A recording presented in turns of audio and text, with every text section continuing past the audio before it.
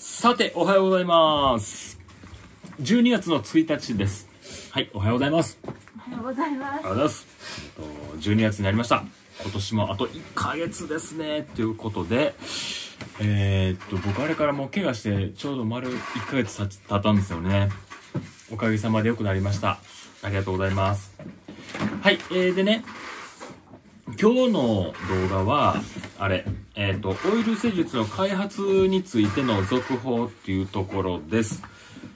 で前回お伝えしたように、これ、ね、えっ、と、痛気持ちよく、痛気持ちよく効く、揉み返しのない成果の出るオイル清掃を、えー今、研究開発してますよというところで、えーその筋肉のね、硬さに合わせて、えー手技、当たり、で、押し込みの量ですね。で、スライド、横にスライドする量を選択していくんですよっていうお話をさせていただきましたと。で、えーやっぱりね、この、僕たちがドライでやってる施術の考え方とも一緒です。それはもうオイルでもバリバリ使えるなっていうか、使わなければいけない。効かす施術をするためにはね、安全なね、えー揉み返しのない、効く施術、オイル清掃をするためには、やっぱりドライ施術のその考え方をそのままオイルにも適用しなければいけないということが、やっぱり分かってきましたと。いうことですね。やればやるほど、やっぱそうだなっていうことですね。これを目指すためにね、リラックスして受けることができる、聞いているかの提供することで、えーガチガチさんはほぐれていくんですよ、ということですね。で、あともう一個。で、追加です。これもそうですね。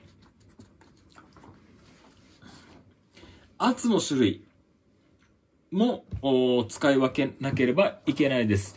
えーたとえオイルであっても体重圧だけでは、やっぱりいい施術はできないですね。こう、体重圧だとつるっと滑ってしまったりするじゃないですか。あの、止めようとしたらね、持続圧をかけようとすると。だから、この指圧、手首圧、腕圧っていうのも使わなければいけない。いわゆる手押しっていうやつですね。手押しはオイルでも必要だと。ガチガチ専門ではね。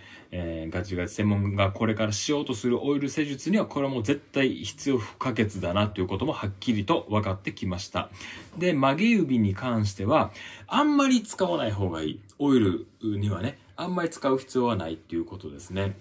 まあ、細かいところを狙ったりするところは、もちろんこう指の力でグーって使いに行くんだけども、広い背中のとこですよね。グイーっつって。うん。そういうところはもう巻き指なんかは絶対使ったらいけないんですよね。反り指でやっていきますよと。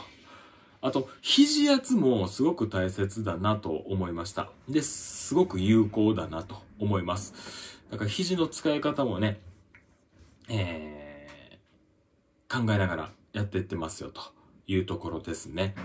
あと、狙うポイントです。狙うポイントも、そのドライ施術と一緒です。ガチ戦のね。えーもうほぼほぼ一緒。これを狙わなければいけないっていうことなんですね。だから、あやればやるほど、やっぱりその今までやってきたドライ施術の技術、ね、スキルを使っていかなければいけないということが分かりましたと。で、これからね、あの、テルマユで一緒にオイルをやっていただくことは、やっていただく、ね、新しいセラピストさんも、お大体決まってきましたので、その方も見ていただいてると思います。で、オイルの研修入る前にですね、えーここ貼っておきます。ガチガチ専門ほぐし術で、やっぱり予習が必要になってきますので、ぜひ予習しておいてください。はい、お願いします。ということですね。なあやむち。ね、オイルセールス、いそ、あ、忙しい。忙しくないです忙しくない。はい、ね。オイルの方が、やっぱガチガチさんって、ほぐれやすいんちゃうかな？そうですねそんな気がしてきましたねなあ。はいちょっと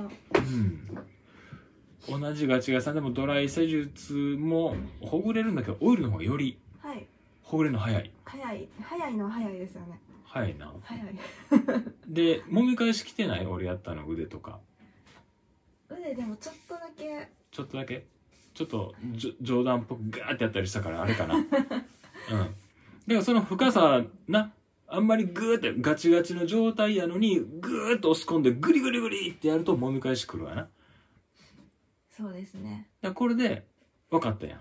直後はすっごい軽かったですね直後はな。朝起きたらちょっとだるさ残るよな。ありましたねそう。青タンは残ってない？アウターもないですね全然僕は同じような施術をまあ数年前にそれを受けた時に、何も知らない時にね、えー受けたら青タンになったんですよね。うん。で、あれっていうのはあんま良くなくて、えーほんまに、えー極端な話かもしれんけど、その状態を作ってしまうと、そのお客様が、えー怖い人やったら、お前傷これどうしてくれんねんっはいはいていう問題になってくるから、本当それは危険なのよね。だから、ああいう施術をやると、揉み返しが来るってことが分かったもんな。うん。俺の冗談で。う んでも自分でもなんか触ったりしてたからねうん。あ、フォローしてくれんの。優しいな。まあ結局やっぱり、これをやるとこうなるよ。悪い例もあって、いい例、いい例もあって、それを両方感じれるからね。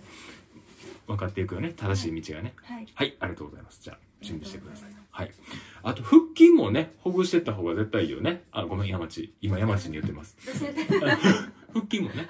今日もね腹筋もやっていこう。やった方がいいですねそうですよね。はい。っていう形で、えー今後もやっていきたいと思います。はい。今日も一日、施術頑張っていきましょう。おおおー、ガチガチ。